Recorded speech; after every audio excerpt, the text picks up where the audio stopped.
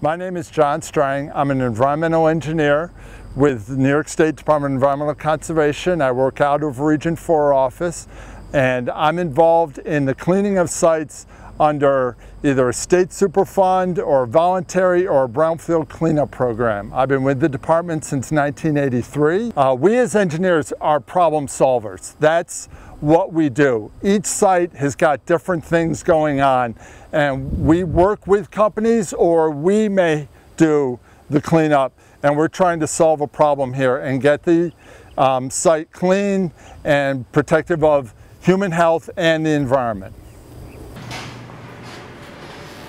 Outside of work, um, I'm still active in Boy Scouts. Um, I'm a leader of a troop and um, so I'm involved in the boys getting out camping and uh, earning their badges. I also volunteer through Junior Achievement through um, the local schools in Troy, the elementary schools. I do junior achievement for kindergarten and first grade.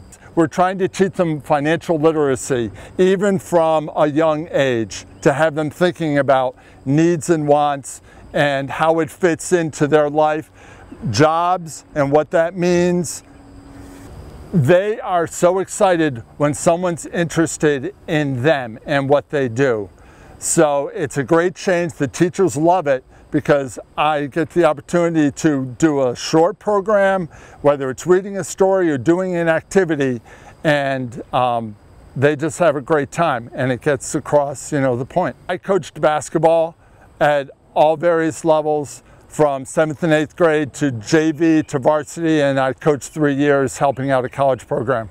I loved this career path because of the opportunity to be in the field, not stuck at a desk. I've gotten a chance to see a lot of the state from Long Island out to Niagara Falls and have been involved in several sites and in the operation and maintenance of those sites. And I'm able to do my teaching through different ways.